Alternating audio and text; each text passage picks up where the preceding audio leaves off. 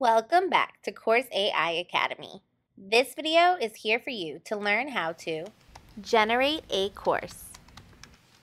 Let's walk through how to generate a course with Course AI. Once you log into your Course AI account, you will find yourself on your dashboard. On your dashboard, you will find multiple options for where to click to create a new course. You can click here, can scroll down to here, or on your dashboard menu can click the tab that is titled My Courses. This will bring you to all of the courses that you have created and you can also create a new course by clicking here.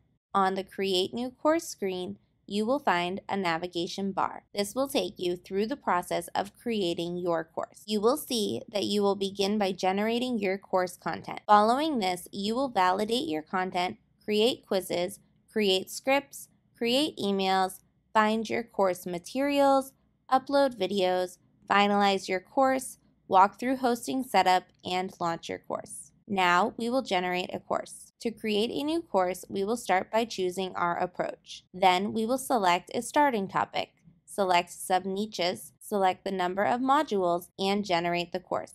Let's get started. When it comes to choosing your approach, you have the option of having AI generate a topic for you. This option is helpful if you are unsure of what topic to create a course in and could use some direction or ideas. There is also the option to choose your own subject, which is available if you have an idea of what type of course you would like to create. If you choose to have AI generate a topic for you, you will be brought to a group of various topic options. You can choose any of these, or if you want more options to choose from, scroll down and click on Generate Again.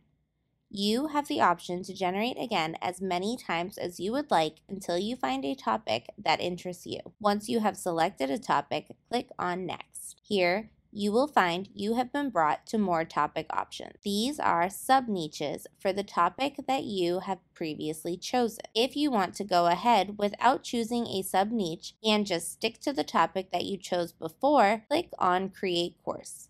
However, we recommend sub-niching your topic down into a more focused topic. Choosing to sub-niche your topic will help your course to stand out amongst others, and you can also continue to sub-niche down into more specific topics, as it will have a more targeted audience and therefore can be helpful in bringing in more sales for you. Once you have found the topic you like, click on Create Course. This will take you to the next step where you will select the amount of modules or sections you would like your course to contain. You can choose between 1 and 10 modules for your course by clicking or dragging to the amount you desire. Do not worry too much about the number you choose here, as if you find you want your course to have additional modules once it has been created, you can add more later. Once you have chosen your approach, your starting topic, your sub-niche, and the amount of modules you want, your course will be generated for you. This only takes a few minutes and once it is ready, you will find the option to view your course. Our next videos will walk you through the steps to validate your content, create quizzes, create scripts, create emails, find your course materials, upload videos, finalize your course, walk through the hosting setup, and launch your course.